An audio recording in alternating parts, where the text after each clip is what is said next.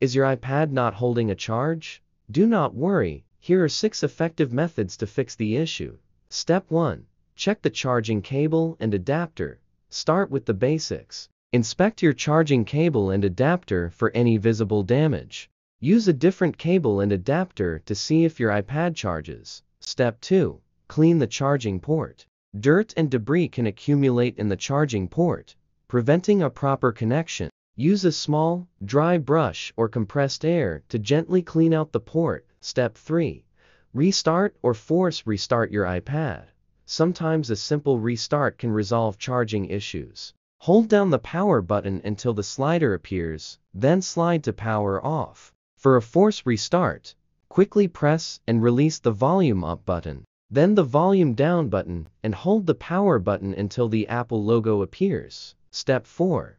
Update your iPadOS. Ensure your iPad is running the latest software. Go to Settings General Software Update and install any available updates. Step 5. Check battery health and usage. If your iPad still won't hold a charge, check the battery health. Go to Settings Battery Battery Health and Charging. If your battery's health is significantly degraded, it may be time for a replacement. Step 6. Reset all settings. If all else fails, try resetting your iPad settings. Go to Settings General Reset Reset all settings. This won't delete your data, but it will reset system settings to default.